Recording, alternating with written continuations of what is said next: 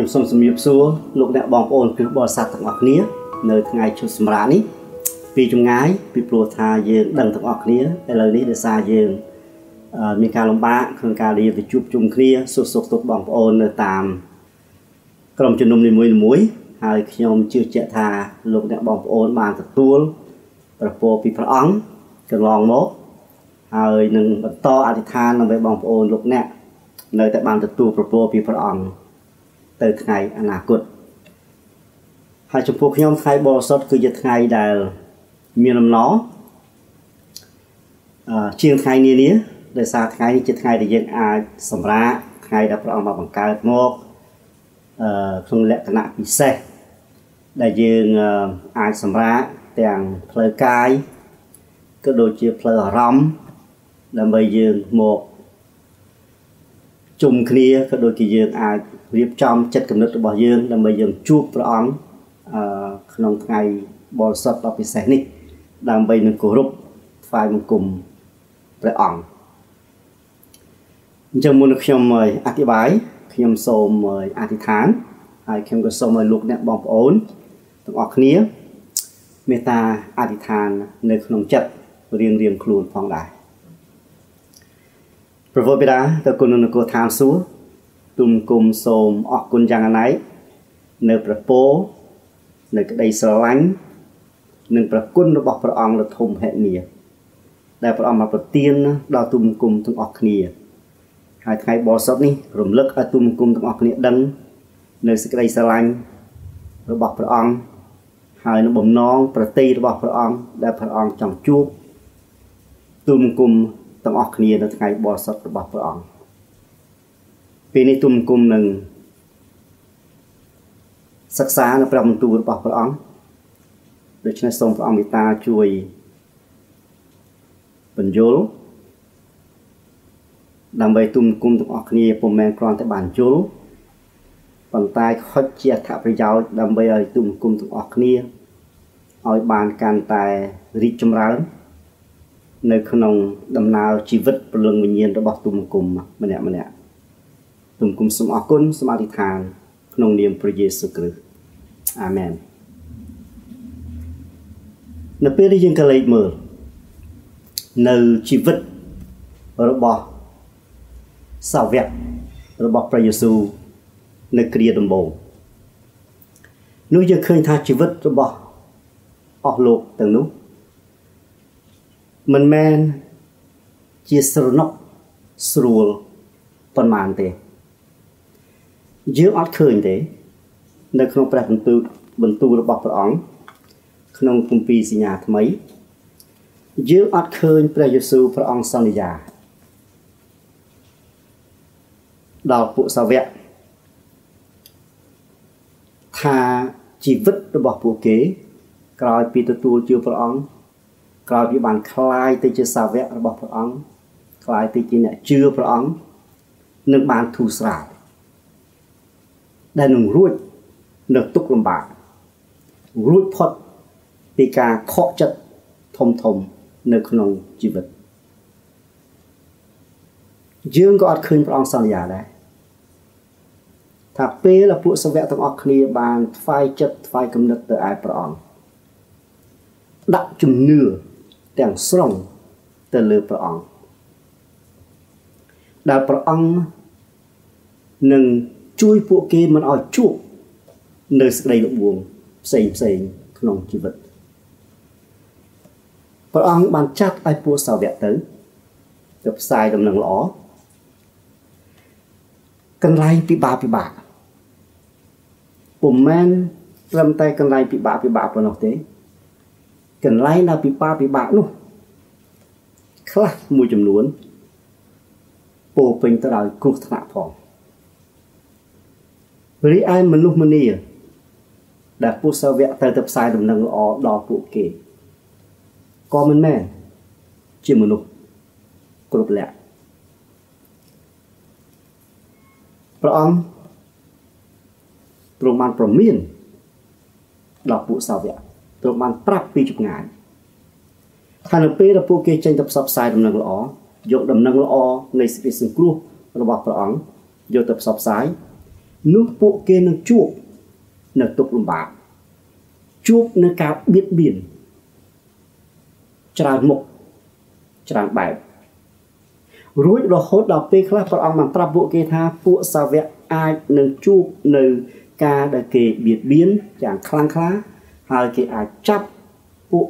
លោកយកទៅធ្វើទុកទោសហើយរហូតអាចសម្លាប់ពួកលោកទៀតផង តែព្រះអង្គទ្រង់សពញញៀនទ្រង់មើលឃើញទៅអនាគតនៃជីវិតរបស់ពួកគេនិងកិច្ចការងារដែលព្រះអង្គបានបន្ទុកបណ្ដាក់នឹងពួកគេឲ្យពួកគេយកទៅធ្វើដើម្បីព្រះអង្គដើម្បីមនុស្សលោកទាំងអស់ព្រះអង្គបានឆ្វេងយល់នៅចំណុចនេះ ហេតុនេះហើយបានជាយើងឃើញព្រះអង្គមិនទុកឲ្យពួកសាវកនៅកណ្ដោយកន្លែងម្នាក់ឯងពីព្រោះក្រោយពីព្រះអង្គមានប្រជញ្ញរស់ឡើងវិញព្រះអង្គទ្រង់ជ្រាបថាព្រះអង្គនឹងឡើងទៅកាន់ឯព្រះវរបិតានោះពួកសាវកទាំងអស់នឹងនៅតែក្រុមពួកសាវកតែប៉ុណ្ណោះប៉ុន្តែរឿងនេះមិនដូច្នេះទេដែលព្រះអង្គដឹងនៅស្ថានភាពដឹងនៅកិច្ចការនេះហើយទើបព្រះអង្គបានចាត់ព្រះវិញ្ញាណបរិសុទ្ធចាត់ព្រះវិញ្ញាណបរិសុទ្ធជាជំនួយដើម្បីមកជួយ ពួកសាវកដើម្បីកុំឲ្យពួកសាវកនៅកណ្ដាលកន្លែងដើម្បីលើកទឹកចិត្តដល់ពួកសាវកនៅពេលដែលពួកសាវកចេញទៅធ្វើការចេញទៅផ្សព្វផ្សាយដំណឹងល្អនៅពេលដែលពួកគេជួបនៅទុក្ខលំបាកជួបនៅការបៀតបៀនជួបនៅការអឺរោគរឿងពីសំណាក់អឺបុគ្គលផ្សេងផ្សេងនៅក្នុងសង្គមដើម្បីឲ្យពួកគេនៅតែមានចិត្តមានកម្លាំង ដើម្បីនឹងធ្វើកិច្ចការងាររបស់ព្រះអង្គទៅមុខតទៀតរួចព្រះវិញ្ញាណបរិសុទ្ធហើយដែលព្រះអង្គជាអ្នកផ្ដល់នៅអំណាចអំណាចដើម្បីឲ្យពួកសាវកទាំងអស់នោះឈ្នះលើសេចក្តីល្បួងប្រធានបទរបស់ខ្ញុំព្រឹកនេះគឺស្ដីអំពីព្រះវិញ្ញាណបរិសុទ្ធពីព្រោះព្រះវិញ្ញាណបរិសុទ្ធគឺជាព្រះអង្គដែលអង្គមួយនៅក្នុងអង្គទាំង3ព្រះមានតែមួយអង្គ ត្រៃសារណៈឯកហើយព្រះយេស៊ូវព្រះអង្គចាត់ព្រះវិញ្ញាណបរិសុទ្ធរបស់ព្រះអង្គមកគង់សន្ធិដ្ឋនៅលើពួកសាវកហើយប្រធានបទនេះជាប្រធានបទមួយសំខាន់ជាប្រធានបទគោលនៅក្នុងព្រះបន្ទូលរបស់ព្រះអង្គនៅក្នុងជីវិតគ្រីស្ទៀនតែនៅក្នុងព្រះវិហារយើងហាក់បីដូចជាយើងអត់សូវតែបានលឺការអធិប្បាយដែលពាក់ព័ន្ធទៅនឹង ព្រះវិញ្ញាណបរិសុទ្ធប៉ុន្មានទេអញ្ចឹងព្រឹកនេះខ្ញុំសូមឲ្យលោកអ្នកទាំងអស់គ្នា រំលឹកឡើងវិញ រំលឹកខ្លួនយើង អំពីធនធានធនធាននៃខាងព្រលឹងវិញ្ញាណនៅប្រទេសខ្មែរយើងកំពុងអភិវឌ្ឍពាក្យធនធាននេះគឺយើងឮយកមកប្រើជាញឹកញាប់ហើយគឺយើងឃើញប្រើទៅតាម ប្រធានបទទៅតាមបរិបទផ្សេងផ្សេងក្នុងសង្គមយើងយើងអាចនិយាយថាធនធានធម្មជាតិយើងអាចនិយាយថាធនធានមនុស្សបង្កើនសមត្ថភាពបង្កើនធនធានមនុស្សលក្ខនឹងលក្ខប៉ុន្តែយើងនិយាយព្រឹកនេះគឺនិយាយនិយាយអំពីធនធានខាងព្រលឹងវិញ្ញាណហើយធនធានខាងព្រលឹងវិញ្ញាណនេះគឺមានតែនៅក្នុងព្រះវិញ្ញាណបរិសុទ្ធតែមួយអង្គគត់ក្រៅពីព្រះអង្គក្រៅពីព្រះវិញ្ញាណបរិសុទ្ធនោះយើង មិនអាចរកនៅធនធានខាងព្រលឹងវិញ្ញាណមកជួយយើងបានឡើយហើយយើងដឹងព្រះវិញ្ញាណបរិសុទ្ធត្រូវបានព្រះយេស៊ូវព្រះអង្គចាត់ឲ្យមកនៅបន្ទប់ខាងលើ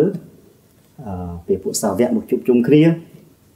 មូលគំនិតគ្នាមូលមតិគ្នាចុះសម្រងគ្នាជាទ្រង់មួយអធិដ្ឋានទាំងអស់ពីចិត្តទៅឯព្រះអង្គហើយព្រះវិញ្ញាណបរិសុទ្ធក៏ត្រូវបានព្រះអង្គចាត់មកដែលមានរូបជា រូបរាងជាអណ្ដាតប៉ុន្តែជាភ្លើងដែលមុខសន្ធិដ្ឋនៅលើពួកសាវកទាំងអស់ដែលនៅទីនោះរួចព្រះវិញ្ញាណបរិសុទ្ធដដែលនេះឯងតែមួយនេះឯងដែលព្រះអង្គតែងតែយាងមកគង់នៅក្នុងរាល់ចិត្តគំនិតរបស់អ្នកដែលទទួលជឿព្រះអង្គអ្នកដែលជឿព្រះអង្គក៏ដូចសម័យមុនសម័យបច្ចុប្បន្នក៏ដូចគ្នា គឺព្រះវិញ្ញាណបរិសុទ្ធតែងតែមកគង់សន្ធិដ្ឋនៅជាមួយនឹងគ្រប់អ្នកជឿព្រះអង្គទាំងអស់អញ្ចឹងចំណុចនេះគឺជាចំណុចដែលល្អចំណុចដែលលើកទឹកចិត្តយើងទាំងអស់គ្នា ដែលយើងជឿព្រះអង្គដែលយើងដើរតាមព្រះអង្គហើយខុសសន្យានេះ គឺនៅតែមានសុពលភាពនៅតែមានអត្តន័យខ្លឹមសារចំពោះយើងគ្រប់គ្រប់គ្នា អ្នកលោកអ្នកបងប្អូនទាំងអស់គ្នាលោកអ្នកបងប្អូនទាំងអស់គ្នាហៅខ្លួនថាជាគ្រីស្ទៀនតែខ្ញុំសូមជម្រាបថាលោកអ្នកបងប្អូនទាំងអស់គ្នាពុំអាចរស់នៅជាលក្ខណៈគ្រីស្ទៀនបានទេបើសិនជា ពុំមានព្រះវិញ្ញាណបរិសុទ្ធពងនៅជាមួយលោកអ្នកបងប្អូនមិនអាចបំរើព្រះអង្គបំរើមានន័យទូលំទូលាយបំរើក្នុងការដែលយើងថ្វាយចិត្តថ្វាយគំនិតរបស់យើងទៅព្រះអង្គបំរើក្នុងន័យដែលយើងអាចជួយសហគមន៍របស់យើងចិត្តខាងរបស់យើងបំរើក្នុងក្រុមគ្រួសាររបស់យើងប្តីរបស់យើងប្រពន្ធរបស់យើងកូនរបស់យើងបំរើក្នុងព្រះវិហារលក្ខណៈលោកអ្នកបងប្អូនមិនអាចបំរើព្រះអង្គបានទេ បើសិនជាលោកអ្នកបងប្អូនពុំមានព្រះវិញ្ញាណបរិសុទ្ធគង់នៅក្នុងចិត្តលោកអ្នកបងប្អូនទាំងអស់គ្នាលោកអ្នកបងប្អូនទាំងអស់អត់អាចយល់ពីព្រះបន្ទូលរបស់ព្រះអង្គសម្រាប់ជីវិតរបស់យើងបានទេបើសិនជាព្រះវិញ្ញាណបរិសុទ្ធអត់គង់នៅក្នុងចិត្តលោកអ្នកបងប្អូនទាំងអស់គ្នាលោកអ្នកបងប្អូនអាចមកព្រះវិហារនៅរាល់ថ្ងៃបរិសុទ្ធ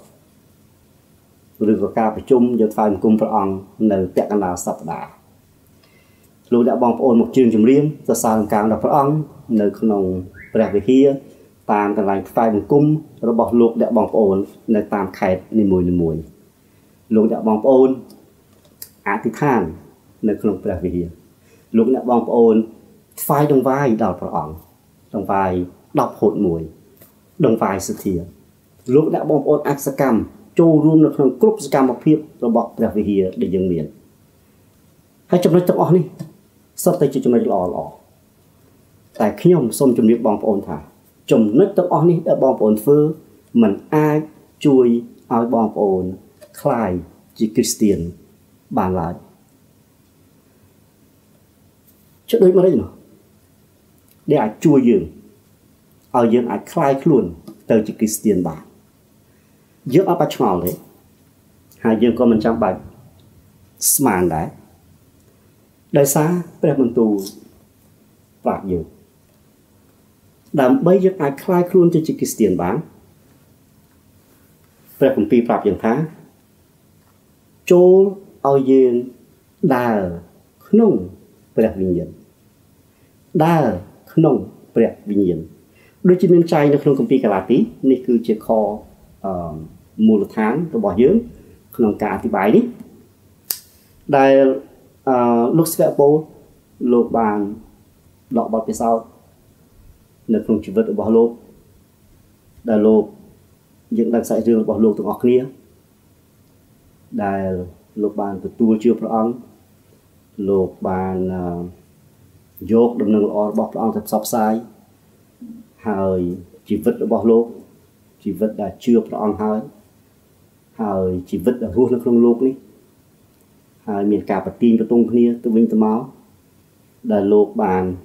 សរសេរប្រាប់យើងទាំងអស់គ្នា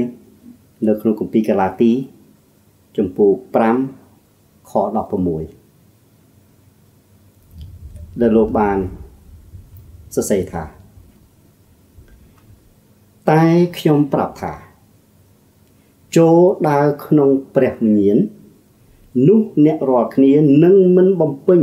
សេចក្តីប្រងប្រាថ្នាខាងសាច់ឈាមទេចុះលោកពូលមានប្រសាសន៍យ៉ាងច្បាស់លោកពូជឿព្រះហើយ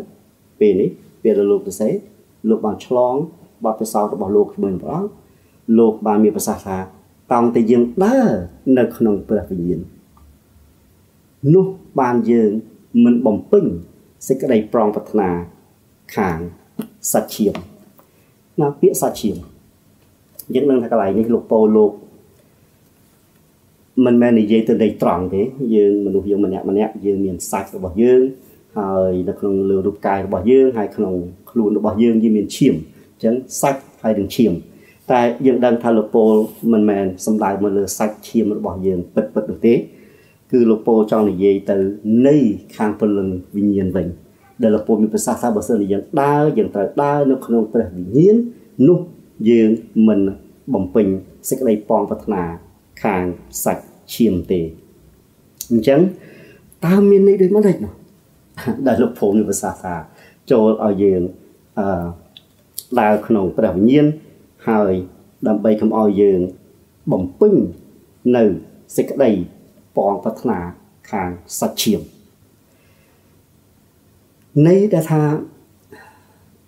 ដើម្បីកុំឲ្យយើងបំពេញបំណងប្រាថ្នាខាងសាច់ឈាមគឺបានន័យថា នៅពេលដែលយើងដើរនៅក្នុងព្រះវិញ្ញាណរបស់ព្រះអង្គគឺយើងរស់ជីវិតរបស់យើង ស្របជាមួយនឹងព្រះハរតីរបស់ទ្រង់អញ្ចឹងផ្ទុយមកវិញបើសិនជាយើងបំពេញសេចក្តីប្រងប្រាថ្នាខាងសាច់ឈាម គ្រីស្ទៀនហើយ លោកពោលទៅសេនេះទៅសេទៅកាន់គ្រីស្ទៀនមិនមែនលោកពោលលោកទៅសេទៅកាន់អ្នកដែលមិនមែនជាគ្រីស្ទៀនអ្នកដែលមិនតន់ស្គាល់ព្រះឬអ្នកដែលមិនមិនមិនមិនជឿព្រះនោះទេអញ្ចឹងបើសិនជាយើងគ្រីស្ទៀនបំពេញបំណងខាងសាច់ឈាមនោះបានន័យថាយើងរស់ជីវិតរបស់យើងក្រៅព្រះハរតីរបស់ព្រះអង្គហើយព្រះハរតីរបស់ព្រះអង្គគឺមានចែងនៅក្នុងព្រះបន្ទូលនេះទាំងមូល បើសិនជាយើងបំពេញសេចក្តីប៉ងប្រាថ្នាខាងសាច់ឈាមនោះបានន័យថាយើងរស់ជីវិតរបស់យើងមិនសមស្របទៅនឹងប្រតិរបស់ព្រះអង្គបានន័យថា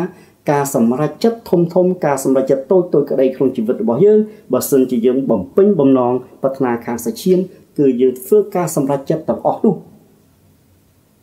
ផ្ទុយពីព្រះハរតីរបស់ព្រះអង្គ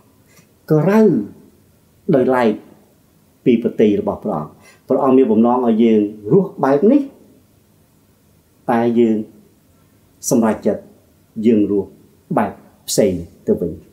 ក្នុងករណីនេះ ដែលលោកពោលថាយើងបំពេញ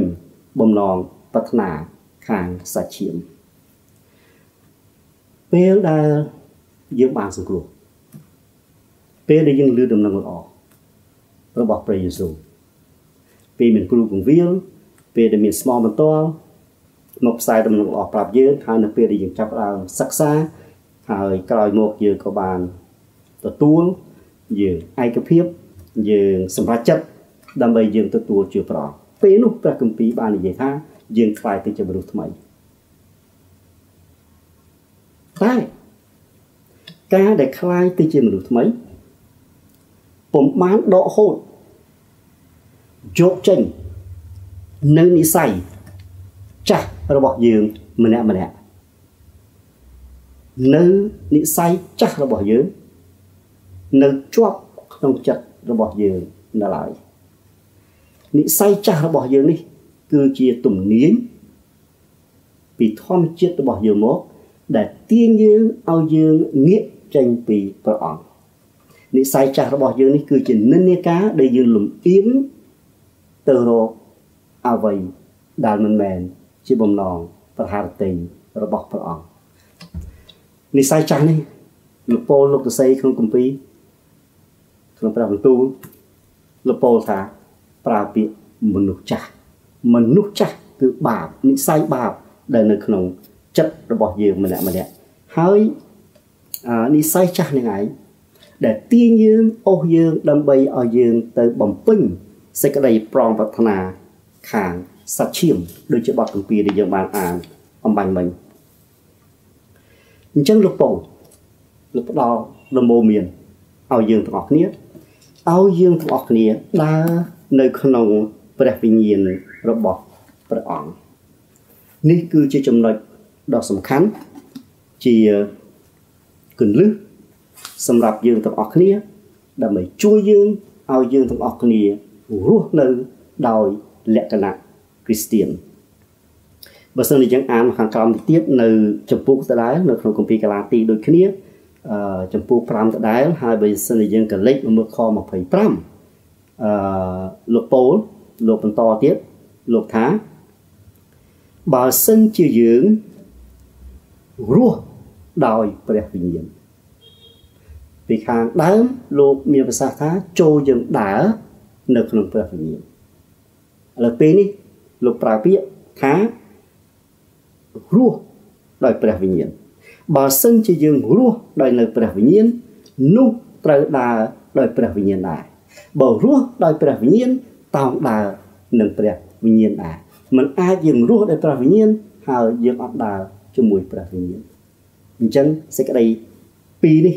យល់ទៅតាមប្រពោលតោងតែស្របជាមួយគ្នា ដើរដោយព្រះវិញ្ញាណបានន័យថាម៉េចនោះដើរដោយព្រះវិញ្ញាណមុននឹងយើងជឿព្រះអង្គយើងមានការគិតគូររបស់យើងបែបផ្សេងបែបការដែលយើងមុនជឿព្រះអង្គមុននឹងជឿព្រះអង្គយើងមានទស្សនៈរបស់យើងបែបផ្សេងហើយមុននឹងជឿព្រះអង្គការដើរហើររបស់យើងការដើរលេងរបស់យើង ទស្សនៈរបស់យើងជាទូទៅ គឺបែបតាមរបៀបដែលយើងអត់តស្គាល់ព្រះនៅឡើយហើយធម្មតារបៀបនេះ ខាងគ្រីស្ទានយើងតែងតែនិយាយថា គឺខាងលោកីតាមបែបលោកីតែនៅពេលដែលយើងដើរក្នុងព្រះវិញ្ញាណដើរដោយព្រះវិញ្ញាណនោះបានន័យថាព្រះវិញ្ញាណមកឃុំគ្រងលើចិត្តរបស់យើងម្នាក់ម្នាក់ ព្រះវិញ្ញាណមកឃុំគ្រងក្នុងជីវិតគ្រីស្ទៀនរបស់យើងម្នាក់ម្នាក់ព្រះវិញ្ញាណបរិសុទ្ធមកលើកទឹកចិត្តយើងហើយផ្ដល់នូវការគិតគូរថ្មី ដែលមិនមែនជាការគិតគូរពីមុនមកពីព្រះវិញ្ញាណឃុំក្រងលើជីវិតយើងព្រះវិញ្ញាណប្រាប់យើង ព្រះវិញ្ញាណឲ្យតម្រុយយើងព្រះវិញ្ញាណអឺដាស់តឿននៅចិត្តរបស់យើងពីការដើរលេងកំសាន្តរបស់យើងព្រះវិញ្ញាណប្រកាសជាប្រាប់យើងកន្លែងណាដែលគួរសមសំរុំដែលយើងជាគ្រីស្ទៀនយើងគួរទៅដើរលេងកន្លែងណាដែលមិនគួរមិនសំរុំចំពោះយើងដែលយើងមិនគួរទៅថ្ងៃបោះសុតដូចគ្នាតើកន្លែងណា ដែលយើងគួរទៅ នៅពេលថ្ងៃបោះសុត តើបរិយាកាសជុំវិញកន្លែងដែលយើងនៅតើជាបរិយាកាសដើម្បីជួយយើងឲ្យយើងកាន់តែផ្ដោតចិត្តគំនិតអារម្មណ៍របស់យើងកាន់តែគៀកទៅឯព្រះអង្គឬមួយនៅពេលដែលយើងចំណាយពេលនៅថ្ងៃបោសុតនៅបរិយាកាសជុំវិញនោះធ្វើឲ្យចិត្តរបស់យើងងាកឆ្ងាយពីព្រះអង្គនៅពេលដែលព្រះវិញ្ញាណមកគង់ឃុំក្រងជីវិតរបស់យើងម្នាក់ម្នាក់ ព្រះវិញ្ញាណបរិសុទ្ធជាអ្នកគុំគ្រងមកលើកាយវិការរបស់យើងព្រះវិញ្ញាណបរិសុទ្ធជាអ្នកប្រាប់យើងកាយវិការណាជាកាយវិការសមរម្យដែលយើងជាគ្រីស្ទានដែលយើងជឿព្រះអង្គដែលយើងជាអ្នក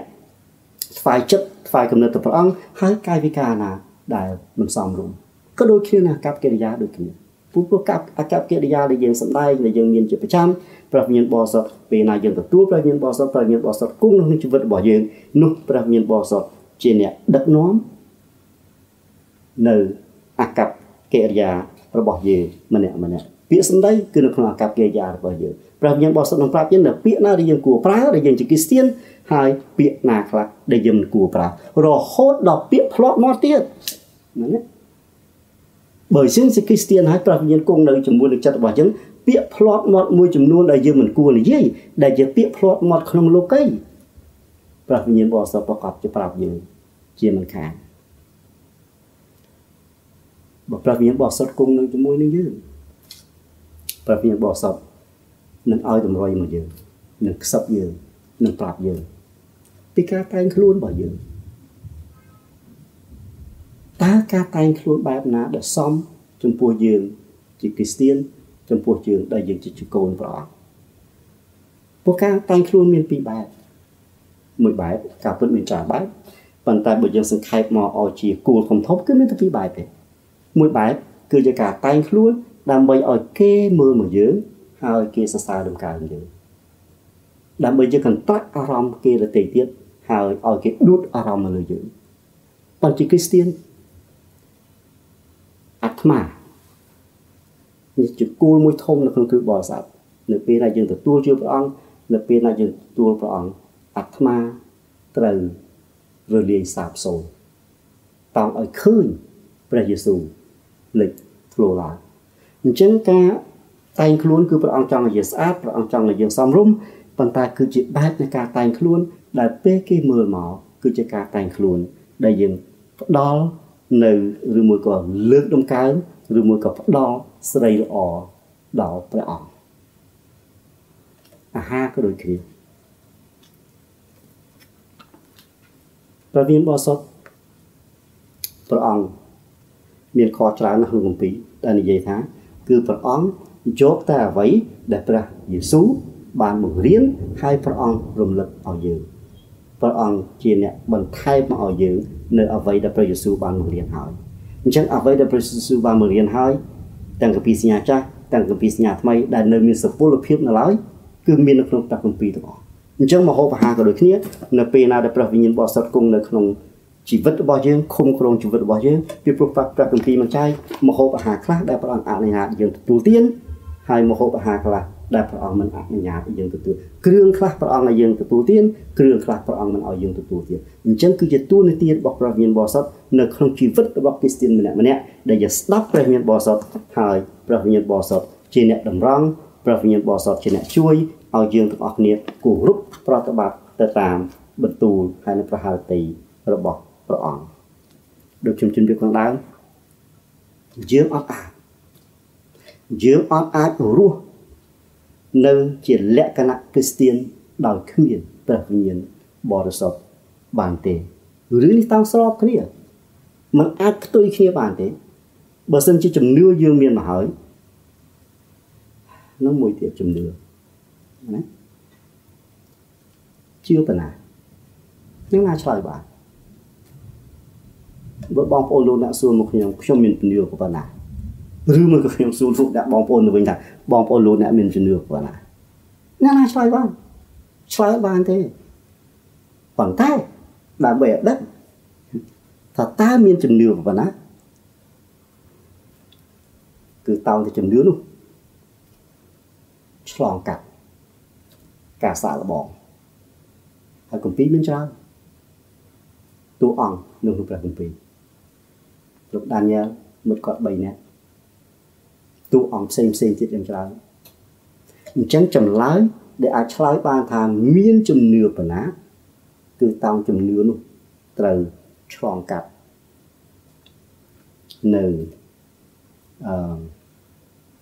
ឆ្លងកាត់នៅការសាក់លបងការសាក់លបងមកពីណាមកពីការលបួង អញ្ចឹងយើងអាចដឹងជំនឿយើងមមប៉ុណ្ណាជំនឿយើងរឹងប៉ុណ្ណាទៅលើព្រះអង្គនៅពេលដែលយើងជួបសេចក្តីលបួងតួអង្គយ៉ាងអស្ចារ្យតួអង្គយ៉ាងពិសេសជាងគេតួអង្គដែលគ្មានពីរគឺតួអង្គព្រះយេស៊ូវនៅពេលដែលរក្សាតាំងបួងព្រះអង្គនៅទីរហោឋាន 40ថ្ងៃ40យប់នេះគឺសេចក្តីជំនឿរបស់ព្រះអង្គឆ្លងកាត់ការសាក់លបងដែលបានកើតឡើងតាមរយៈសេចក្តីលបួងព្រះវិញ្ញាណបរិសុទ្ធអាចជួយយើងបានច្រើនណាស់អឺហើយទូនាទីរបស់ព្រះវិញ្ញាណបរិសុទ្ធក៏ច្រើន មួយដែលយើងអាចឃើញហើយព្រះគម្ពីរបានចែកមកនៅក្នុងគម្ពីរយូហានជំពូក16អឺខ8ដែលនៅក្នុងនោះមាននិយាយអំពីទូនាទីរបស់ព្រះមានបរិសុទ្ធយ៉ាងសំខាន់មួយនៅក្នុងខ8និយាយថា នេះព្រះយេស៊ូវព្រះអង្គមានបន្ទូលអញ្ចឹងកន្លែងនេះនិយាយពាក្យត្រង់ប៉ុន្ត្រង់នេះមិនមែនសម្ដៅទៅព្រះយេស៊ូវទេព្រោះព្រះអង្គជាអ្នកមានបន្ទូលព្រះអង្គមានបន្ទូលថាកាលណាត្រង់យាងមកនេះនៅពេលដែលព្រះយេស៊ូវព្រះអង្គសន្យាដល់ពួកសាវកថាព្រះអង្គនឹងចាត់ឲ្យព្រះវិញ្ញាណបរិសុទ្ធយាងមកអញ្ចឹងកន្លែងនេះនិយាយថាកាលណាត្រង់យាងមកហើយកាលណាព្រះវិញ្ញាណបរិសុទ្ធយាងមកនោះទ្រង់នឹងសម្ដែងឲ្យមនុស្សលោកដឹងច្បាស់ពីអំពើបាប អញ្ចឹងទួលនីតិដ៏សំខាន់បំផុតរបស់ព្រះវិញ្ញាណបរិសុទ្ធក្នុងជីវិតគ្រីស្ទានគឺព្រះវិញ្ញាណបរិសុទ្ធជាអ្នកសម្ដែងឲ្យឃើញបាបនៅក្នុងខ្លួនយើងហើយយើងដឹងយើងមិនអាចកម្ចាត់បាបបានទេយើងមិនអាចលុបបំបត្តិបាបយើងបានទេគឺមានតែការដែលយើងពឹងព្រះអង្គយើងចូលទៅព្រះអង្គសុំអំណាចពីព្រះអង្គសូមឲ្យព្រះអង្គអឺជួយយើងអឺដើម្បីយើងជៀសពីបាប តែបើសិនជាជីវិតយើងអត់មានព្រះវិញ្ញាណបរិសុទ្ធនៅក្នុងខ្លួនទេអញ្ចឹងយើងធ្វើមិនដឹងថានឹងបាបពីព្រោះអត់ព្រះវិញ្ញាណបរិសុទ្ធអត់ប្រាប់យើងផងណាព្រះវិញ្ញាណបរិសុទ្ធតាមរយៈព្រះបន្ទូលដែលយើងអានព្រះគម្ពីរដែលយើងចងចាំព្រះបន្ទូលហើយកន្លែងដែលនិយាយតកតូននឹងការដែលយើងត្រូវជៀសនៅសក្តីមួយចំនួន ដែលមិនមែនជាប្រហាទេរបស់ព្រះអង្គអញ្ចឹងព្រះវិញ្ញាណបរិសុទ្ធជាអ្នករំលឹកជាអ្នកអឺតើនយើង រំលឹកយើងឲ្យយើងដឹងពីអំពីបាបយើងទាំងអស់គ្នាយើងខ្សោយខ្ញុំក៏ខ្សោយលោកអ្នកបងប្អូនទាំងអស់គ្នាក៏ខ្សោយដោយសារយើងខ្សោយបានជាយើងម្នាក់ម្នាក់យើងត្រូវការព្រះវិញ្ញាណយើងត្រូវការព្រះយេស៊ូវព្រោះព្រះអង្គមានកម្លាំង ព្រះអង្គអាចជួយយើងបានដូចមានចែងក្នុងគម្ពីររ៉ូមអឺចំពោះ8ខ26និយាយថាព្រះវិញ្ញាណទ្រង់ក៏ជួយសេចក្តីកំសោយរបស់យើងបែបដូច្នោះដែរអញ្ចឹងយើងទាំងអស់គ្នាខ្សោយពីមួយថ្ងៃទៅមួយថ្ងៃខ្សោយខាងពលឹងរបស់យើងខ្សោយខាងវិញ្ញាណរបស់យើង ពេលយើងជួបសេចក្តីល្បួងពេលយើងជួបនឹងវិបត្តិក្នុងក្រុមគ្រួសាររបស់យើងក្នុងសង្គមរបស់យើង COVID-19 ធ្វើយើងភ័យការដែលធ្វើយើងភ័យធ្វើយើងខ្សោយធ្វើយើងទន់តែព្រះអង្គព្រះអង្គអាចជួយយើងព្រះអង្គអាចពង្រឹងយើងព្រះអង្គអាចលើកស្ទួយយើងដើម្បីកុំឲ្យយើងខ្សោយគ្រីស្ទៀនគ្រប់រូប លោកអ្នកទាំងអស់គ្នាក៏ដូចជាខ្ញុំយើងម្នាក់ម្នាក់យើងមានសត្រូវ3មិនមួយក៏មិនពីរដែរប៉ុន្តែយល់តាមព្រះគម្ពីរត្រឹមតែ3ដែរដូចជាមិនលើសពី3ដែរតើសត្រូវ3នោះជាអ្វីខ្លះមួ យយើងបានអានខពីខាងដើមហើយដែលនិយាយថាចូលឲ្យយើងដើរក្នុងវិញ្ញាណទើបយើងមិនបំពេញបំណងសេចក្តីប្រាថ្នាខាងសាច់ឈាមទាំងទី1សត្រូវរបស់យើង គឺសេចក្តីប៉ងប្រាថ្នាខាងសាច់ឈាម2ខ្ញុំជឿថាលោកអ្នកបងប្អូនក៏លោកដឹងដែរលោកី 3គឺមេលបួងអារៈសាតាំងតែម្ដងអញ្ចឹងសត្រូវរបស់យើង3សេចក្តីបងប្រាថ្នាខាងសាច់ឈាមលោកីនៅជុំវិញយើងហើយមេលបួងគឺអរិយដែលមានជីវិតពិតប្រកបព្រះគម្ពីរសម្ដែងយ៉ាងច្បាស់ បើសិនជាយើងជាគ្រីស្ទៀនហើយយើងមិនជឿទៅលើអរិយសាតាំងនោះយើងមិនមែនជាគ្រីស្ទៀនទេទាំង3នេះមានបំណងមកឃុំគ្រងលើជីវិតគ្រីស្ទៀននីមួយនីមួយទាំង3នេះមានបំណងដើម្បីមកខ្សោយរាជនៅក្នុងជីវិត របស់គ្រីស្ទៀនម្នាក់ម្នាក់ប្រហែលជាមូលហេតុនេះហើយបានជាលោកប៉ូលមានប្រសាសន៍ថាយើងជឿព្រះអង្គហើយយើងផ្សាយចិត្តគំនិតទៅព្រះអង្គហើយលោកមានប្រសាសន៍ថាចូលដើរនៅក្នុងព្រះវិញ្ញាណមានតែការដើរនៅក្នុងព្រះវិញ្ញាណទេទើបយើងអាចទប់ស្កាត់នៅសត្រូវទាំង3នេះបាន មានតែការដើរក្នុងព្រះវិញ្ញាណទេពីព្រោះព្រះគម្ពីរបាននិយាយច្បាស់ហើយនៅពេលដែលយើងដើរក្នុងព្រះវិញ្ញាណនោះយើងនឹងមិនបំពេញបំណងសេចក្តីប្រាថ្នាខាងសាច់ឈាមទេ មានតែការដើរនៅក្នុងព្រះវិញ្ញាណនេះទើបយើងអាចទប់ទល់ជាមួយនឹងឥទ្ធិពលនៃលោកីបានមានតែការដើរនៅក្នុងព្រះវិញ្ញាណរបស់ព្រះអង្គទេទើបយើងអាចទប់ទល់ជាមួយនឹងកម្លាំងដ៏ខ្លាំងក្លាទំនាញដ៏ខ្លាំងក្លារបស់អរិយសាតាំង ពលម្យ៉ាងទៀតដែលយើងទាំងអស់គ្នាយើងយើងប្រយុទ្ធយើងតស៊ូជាមួយនឹងសត្រូវបីនេះអញ្ចឹងការដែលយើងប្រយុទ្ធការដែលយើងតស៊ូការដែលយើងការដែលយើងបន្ទុះរាយជាមួយនឹងគ្នានេះយើងអាចនិយាយថាជាសង្គ្រាមដែលយើងដឹងសង្គ្រាមពិតប្រាកដគេប្រើអាវុធយុទ្ធភ័ណ្ឌ គេប្រើកំភ្លើងគេប្រើកណ្ដុងគេក៏ប្រើយន្តហោះគេប្រើទាហានប៉ុន្តែនេះក៏ជាសង្គ្រាមដែរតែសង្គ្រាមនេះ គឺជាសង្គ្រាមដែលកើតឡើងនៅក្នុងចិត្តរបស់យើង ជាសង្គ្រាមនៃមួយក្នុងមួយនៃអឺកើតនៅក្នុងចិត្តរបស់យើងប៉ុន្តែសង្គ្រាមនេះជាសង្គ្រាមនៃចិត្តគំនិតរបស់យើងម្នាក់ម្នាក់អឺ ចំណុចនេះលោកអ្នកទាំងអស់គ្នាក៏ដូចជាខ្ញុំយើងគួរចងចាំពីព្រោះថាសង្គ្រាមនេះការប្រយុទ្ធគ្នានេះគឺកើតឡើងក្នុងចិត្តរបស់យើងម្នាក់ម្នាក់ព្រះវិញ្ញាណក៏ចង់មកគង់ក្នុងចិត្តរបស់យើងដឹកនាំជីវិតរបស់យើង ទៅតាមផ្លូវរបស់ព្រះអង្គតែលោកីក៏ចង់ទាញយើងទៅអឺ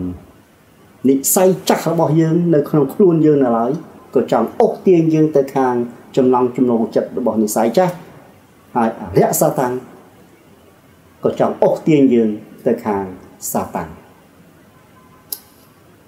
ដែលខ្ញុំថាយើងគួរចងចាំពីព្រោះថាសង្គ្រាមនេះដែលកើតឡើងក្នុងចិត្តរបស់យើង ចាស់ឥទ្ធិពលទោះបីសង្គ្រាមដែល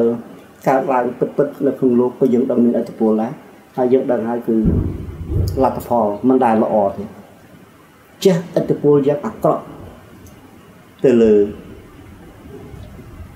គូបដិបត្តិក្រុមនីមួយៗដែលពាក់ព័ន្ធជាមួយនឹងសង្គ្រាម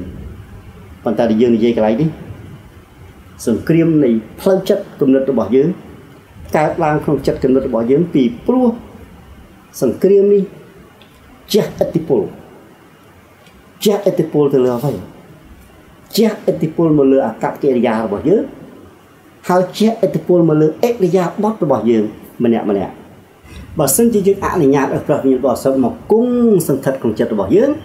ហើយព្រះវិញ្ញាណបរិសុទ្ធជួយយើងឲ្យឈ្នះទៅលើសត្រូវទាំង3អំបញ្ញមិញនោះឥទ្ធិពលរបស់ព្រះវិញ្ញាណបរិសុទ្ធដែលជះចេញមក នោះជាឥទ្ធិពលនៃវិជ្ជមានសំដៅឲ្យឃើញនៅក្នុងអកប្បកិរិយារបស់យើងសំដៅឲ្យឃើញនៅក្នុងអិរិយាបថរបស់យើងម្នាក់ម្នាក់តែផ្ទុយទៅវិញបើសិនជាយើងមិនដែលបណ្ដោយយើងអត់រវីរវល់យើងអត់ពឹងផ្អែកទៅលើព្រះវិញ្ញាណបរិសុទ្ធហើយយើងមិនដែលបណ្ដោយចិត្តគំនិតរបស់យើងនៅពេលដែលយើងជួបនៅស្ត្រីស្ត្រីទាំង3នេះនោះគឺប្រកាសជាយើងចាញ់ហើយស្ត្រី3នោះប្រកាសជាឈ្នះយើងហើយនៅពេលស្ត្រី3នោះឈ្នះយើងប្រកាសជាបង្ហាញឲ្យឃើញនៅអកប្បកិរិយា បែបខាង3នោះហើយបង្ហាញឲ្យឃើញនៅកប្បកិរិយាឬមួយអរិយាបថខាង3នោះហើយខ្ញុំសូមលើកឧទាហរណ៍មួយនេះជាកាបូបលុយប្រុសក៏យើងអាចនិយាយពីកាបូបលុយស្រីឬមួយក៏អ្វីក៏ដោយដែលយើងដាក់លុយចូលមុននឹងយើងជឿព្រះអង្គឧទាហរណ៍យើងដើរទៅផ្សារ ក៏យើងឃើញកាបូបលុយដែលគេជ្រុះហើយនៅនឹងនៅនឹងអិតនៅនឹងដីនៅនឹងផ្លូវយើងក៏រើសមកដល់ពេលយើងរើសមកធម្មតាទេគេយើងបើកមើលណាដល់ចឹងបើកមើលយើងឃើញមានលុយនៅក្នុងកាបូបលុយ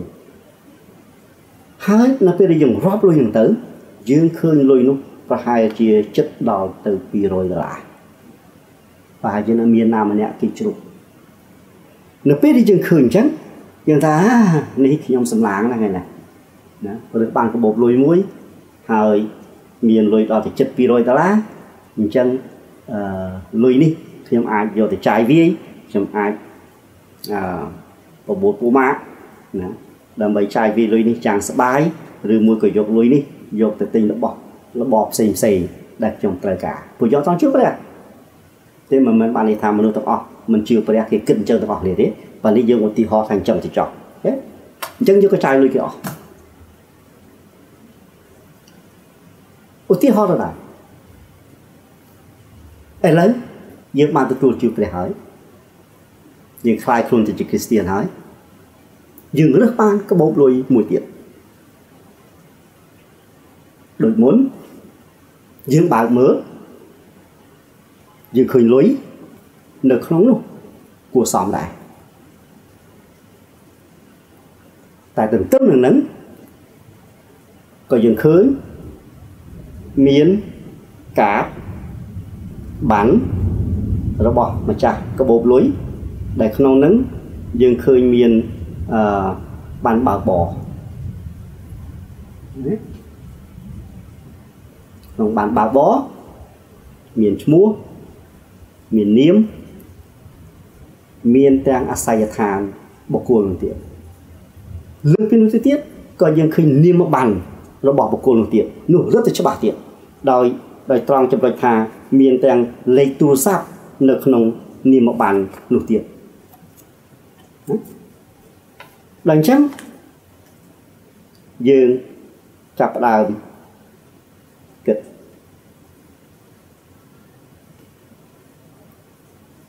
ត្រូវបងលុយថ្លៃស្លាយកូនផងកូនម្នាក់ទៀតក៏ឈឺក៏យើងខ្វះលុយ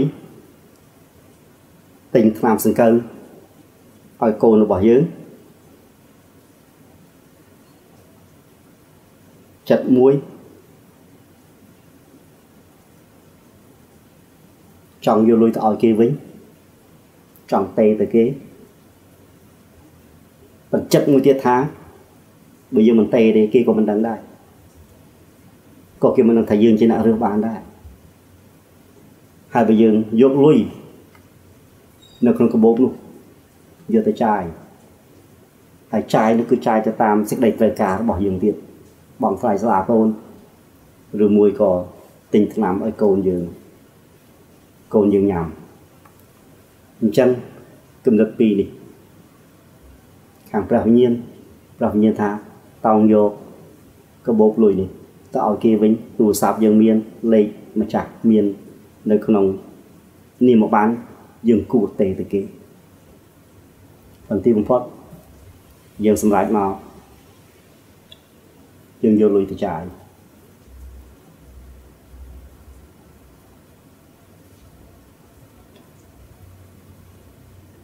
ដល់ចាយលុយ យើងថាចាយអស់ទៅចុះយើងចាប់ផ្ដើមគិតឡើងវិញគិតឡើងវិញព្រះវិញ្ញាណបរិសុទ្ធជាអ្នកដាស់តឿនចិត្តរបស់យើង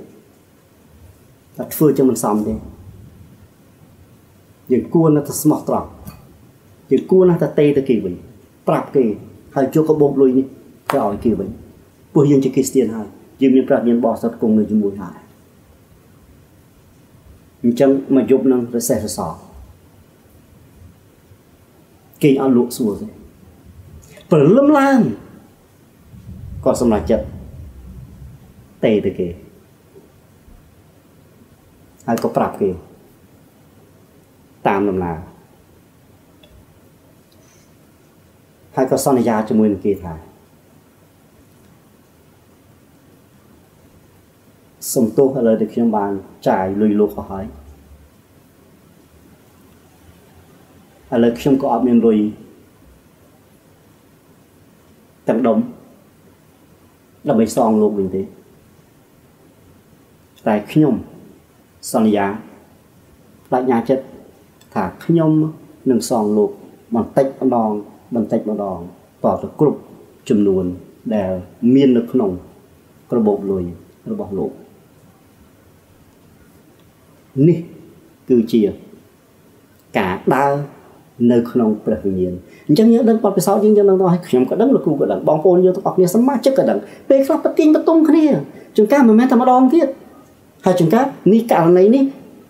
រសេះសសល់មួយយប់ព្រលឹមឡើងព្រះវិញ្ញាណធ្វើការក្នុងចិត្តរបស់យើងយ៉ាងខ្លាំងខ្លាយើងទេទៅប្រាប់គេប៉ុន្តែខ្លះទៀតមកជប់ចឹងហើយអាសេះអសល់ចឹងហើយព្រលឹមឡើងក៏នៅតែអត់ស្ដាប់ព្រះវិញ្ញាណបរិសុទ្ធទៀត យើងបំពេញសេចក្តីប្រងប្រាថ្នារបស់សាច់ឈាមប្រទៀងបតងគ្នាប្រទៀងបតងគ្នាអញ្ចឹងហើយបានជាលោកពោលោកមានប្រសាសន៍ថាចូលឲ្យយើងដើរនៅក្នុងព្រះវិញ្ញាណមានតែការដើរក្នុងព្រះវិញ្ញាណទេដើម្បីជួយយើងដើម្បីឲ្យយើងស្មោះត្រង់ហើយដើម្បីដែលសំខាន់លើសនោះទៅទៀតគឺដើម្បីឲ្យយើង ធ្វើអ្វីអ្វីសពប្រហារតីដល់ព្រះអង្គយើងម្នាក់ម្នាក់យើងត្រូវតែតាំងចិត្តយើងឲ្យត្រូវ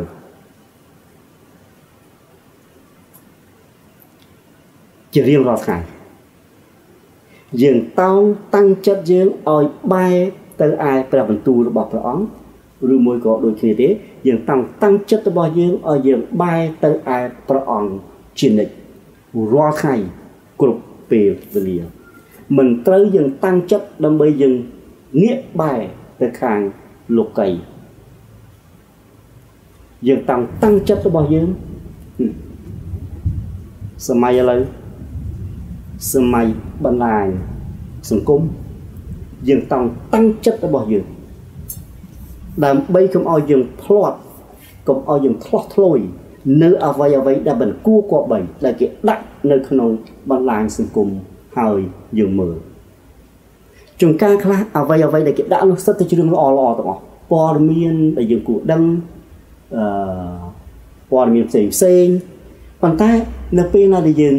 មើលហើយមើលទៀតមើលហើយមើលទៀតមើលហើយមើលទៀតរហូតដល់ពេលយើងអស់ពេល អស់វេលាអត់មានពេលមើលព្រះបន្ទូលរបស់ព្រះអង្គអត់មានពេលជាងអធិដ្ឋាននោះរបស់ដែលល្អល្អនោះឯងសម្រាប់ជីវិតរស់នៅរបស់យើងអាចទាញយើងឲ្យឆ្ងាយពីព្រះអង្គដែរ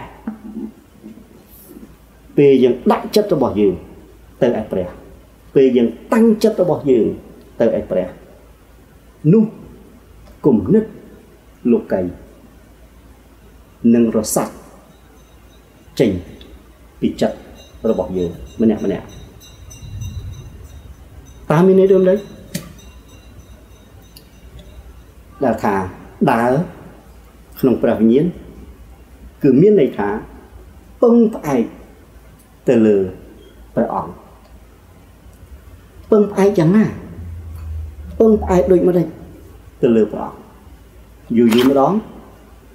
ម្ដងមកកាលតង់តែមានវិបត្តិ ទើបងាកទៅឯព្រះអង្គទៅពឹងផ្អែកនឹងព្រះអង្គអត់ទេគឺពឹងផ្អែកទៅឯព្រះអង្គគឺលើកពាក្យទាំងស្រុងទាំងស្រុងតែម្ដងគ្រប់ពេលវេលាគ្មានថ្ងៃខកខានតើមានន័យដូចម្ដេចដើរនៅក្នុងព្រះវិញ្ញាណមានន័យថាស្ដាប់បង្គាប់ព្រះអង្គជាម្ចាស់ ស្ដាប់បង្គាប់ព្រះបន្ទូលរបស់ព្រះអង្គកន្លែងនេះយើងអត់និយាយពីភាពគ្រប់លក្ខទេយើងនិយាយពីការគោរពប្រតិបត្តិដែលផុសចេញពីក្នុងចិត្តរបស់យើងដែលយើងមានសេចក្តីស្រឡាញ់ទៅឯព្រះអង្គក្រោយពីយើងបានឃើញព្រះអង្គបានសម្ដែងបានផ្ដល់នៅសេចក្តីស្រឡាញ់ដ៏អស្ចារ្យដល់យើងម្នាក់ម្នាក់ តនកម្មនៃអំពើបាបធ្ងន់ធ្ងរយ៉ាងណាគម្ពីរបាននិយាយប្រាប់យើងទាំងអស់ដែលយើងម្នាក់ម្នាក់ជាមនុស្សមានបាបយើងគួរទទួលនៅថ្ងៃចុងបញ្ចប់តែព្រះអង្គបែរជាទទួលយកនៅតនកម្មនៃអំពើបាបដ៏ខុសខើនោះជំនួសយើងបាត់ទៅហើយហើយព្រះអង្គប្រទាននៅសេចក្តីស្រឡាញ់របស់ព្រះអង្គមកឲ្យយើងម្នាក់ម្នាក់ដែលយើងម្នាក់ម្នាក់យើងជាអ្នកមានកំហុសយើងមិនគួរទទួលសោះប៉ុន្តែដោយសេចក្តីស្រឡាញ់ព្រះអង្គប្រទាន រាការលើកលែងទោសព្រះអង្គប្រទាននៅប្រគុណរបស់ព្រះអង្គ ប្រទានសេចក្តីស្រឡាញ់របស់ព្រះអង្គមកដល់យើងការដើរក្នុងព្រះវិញ្ញាណគឺធ្វើឲ្យជីវិតរបស់យើងម្នាក់ម្នាក់ធ្វើឲ្យជីវិតលោកអ្នកទាំងអស់គ្នាកាន់តែគៀកជាប់ទៅនឹងព្រះអង្គការដើរក្នុងព្រះវិញ្ញាណគឺជួយយើងឲ្យយើងកាន់តែคล้ายទៅជា Christian Adventist កាន់តែល្អប្រសើរឡើង ការដើរក្នុងព្រះវិញ្ញាណគឺធ្វើឲ្យយើងជីវិតរបស់យើងដំណើរនៃជីវិតរបស់យើងជាប្រចាំជារៀងរាល់ថ្ងៃសពប្រហារតីរបស់ព្រះខ្ញុំជឿថានេះគឺជាទិសដៅដ៏សំខាន់បំផុតសម្រាប់គ្រីស្ទៀនម្នាក់ម្នាក់គឺចុះសម្រងរស់នៅដោយអនុលោមអនុម័តសម្របខ្លួនទៅតាមព្រះហារតី របស់ព្រះមិនមែនតាមចិត្តដ៏មានបាបរបស់យើងម្នាក់ម្នាក់ការដើរតាមព្រះអង្គការដើរតាមក្នុងវិញ្ញាណរបស់ព្រះអង្គនឹងទទួលបាននៅជំនួយនៅកម្លាំងនៅធម៌ពលពីព្រះវិញ្ញាណបរិសុទ្ធដើម្បីជួយជីវិតយើងម្នាក់ម្នាក់ដែលយើងដើរតាមព្រះអង្គជារៀងរាល់ថ្ងៃ ដូច្នេះខ្ញុំសូមលើកទឹកចិត្តដល់លោកអ្នកបងប្អូនទាំងអស់គ្នាទាំងខ្ញុំរួមចូលក្នុងកន្លែងហ្នឹងគឺយើងនៅក្នុង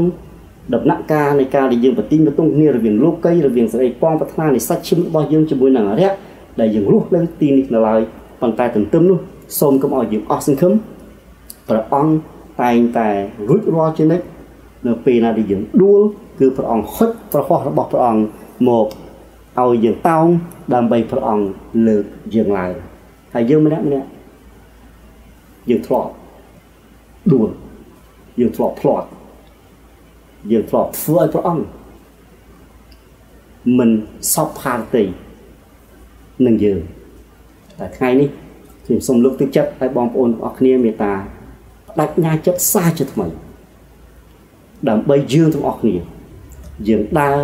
នៅក្នុងព្រះវិញ្ញាណរបស់ព្រះអង្គសូមអរគុណ សូមអធិដ្ឋានជាមួយខ្ញុំព្រះពុទ្ធបិតាដ៏គង់នៅនគរឋានសួគ៌ព្រះអង្គទូលបង្គំសូមអរគុណយ៉ាងណាស់ដែលព្រះអង្គមិនទុកឲ្យទូលបង្គំនៅកណ្ដាលកន្លែងម្នាក់ឯងជួបនៅវិបត្តិជួបនៅបញ្ហាជួបនៅសេចក្តីលបួងដ៏ធ្ងន់ធ្ងរនៅក្នុងជីវិតតែព្រះអង្គបានប្រទានព្រះវិញ្ញាណជាជំនួយដើម្បីជួយដល់ទូលបង្គំម្នាក់ម្នាក់ ទូលបង្គំសូមព្រះអមេត្តាខន្តីអភ័យទោសបើកន្លងមកទូលបង្គំបានប្រងើយកន្តើយទូលបង្គំមិនបានពឹងផ្អែកទៅលើព្រះអង្គទូលបង្គំទុកព្រះអង្គមួយលើហើយទូលបង្គំរស់ជីវិតធ្វើការសម្រេចចិត្តទោះបីក្នុងការដើរហើរនឹងអ្វីអ្វីតទៅនឹងជីវិតតាមបែបហាក់បីដូចជាគ្មានព្រះអង្គនៅក្នុងចិត្ត តែពេលនេះគុំគុំសូមឲ្យព្រះអង្គជួយដើម្បីកែច្នៃចិត្តទូលគុំទាំងអស់គ្នាឲ្យងាកមករកព្រះអង្គពីព្រោះមានតែការងាកមកព្រះអង្គពីព្រោះព្រះអង្គជាធនធាននៅខាងព្រលឹងវិញ្ញាណដើម្បីព្រះអង្គអាចប្រទានធនធាននោះដើម្បីជួយដឹកនាំជីវិតរបស់ទូមគុំម្នាក់ម្នាក់ដើម្បីឲ្យបានសមស្របទៅតាមប្រហារតីរបស់ព្រះអង្គ ដូច្នេះទូមគុំសូមដោយជឿទុកចិត្តនៅក្នុងចិត្តដែលព្រះអង្គប្រកាសជាបំពេញនៅសំណូមពររបស់ទូមង្គមនៅពេលទូមង្គមសូមឲ្យព្រះវិញ្ញាណជួយដល់ទូមង្គមគ្រប់គ្រប់គ្នាទូមង្គមសូមអធិដ្ឋាន នៅក្នុងព្រះនាមព្រះយេស៊ូវគ្រីស្ទអាមែន